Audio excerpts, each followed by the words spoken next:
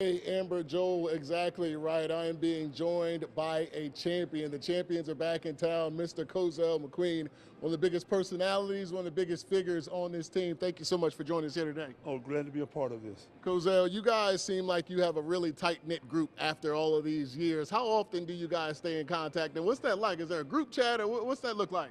Well, we do have a group chat. and man, if you guys only knew some of the communications we put together. I'm sure, I'm sure there's some things that you can't tell me on camera. Uh, Cozell, I want to go back um, and, and talk, talk about your late great coach. Give me one of your best Jimmy V memories from, from over the years. Hey, one of my best ones that I can think of right now it was when we um, were getting ready to go out to play Houston before we ran out, uh, before the game, pregame. And it was like he went over each to each player and said what they were going to do, what their role was. And it was like, hey, Cole, with my situation, he said, hey, Cole, listen, um, we recruited, we, well, we watched him, and we didn't know too much about the dream. Then we didn't know that much about him. We said, well, look, um, he doesn't shoot that much, and, and so uh, you can shade and help out with everybody else and all this good stuff. And as the game got started, the dream got the first shot, and they, they gave to what we call now the dream shake, gave me that shake, and he shot a jumper, and I said, okay, well maybe he just lucked this because they said he don't shoot the ball that much in time, right?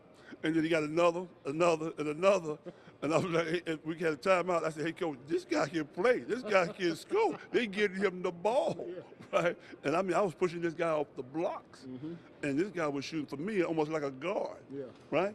And he just, and then once he got wind up, man, I was just trying to hold on for dear life. well, Cozell, it seems like it all worked out. You're a local guy, uh, you told me. Um, I'm not sure how much you've kept up with this NC State team, but you guys won the title after North Carolina won it the year before. How cool was it just being in this area to stick it to your rivals? Man, that was absolutely awesome. Saying that they had Perk on the team and they had Jordan on the team would be some Hall of Famers. Yeah.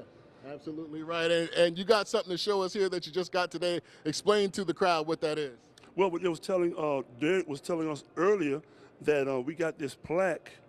Um, how it came about, uh, the pit where we played at.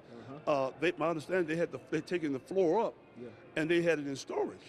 And so uh, they, I, mean, I think the uh, York, uh, one of the York uh, um, young guys of the, of the father, and because because York, uh, which is in real estate, uh, he was the my understanding he was the mayor back then when we won the championship, and so they found out about some kind of way that the, the floor was in storage, Yeah. and so And brought it back and here. brought it back here and put is- it all together and. pretty cool. And on it, of course, is the pass and the dunk. That's pretty cool. Cozell McQueen, amongst many legends here, will be here in Raleigh tonight. Thank you so much for your time. Guys, back to you.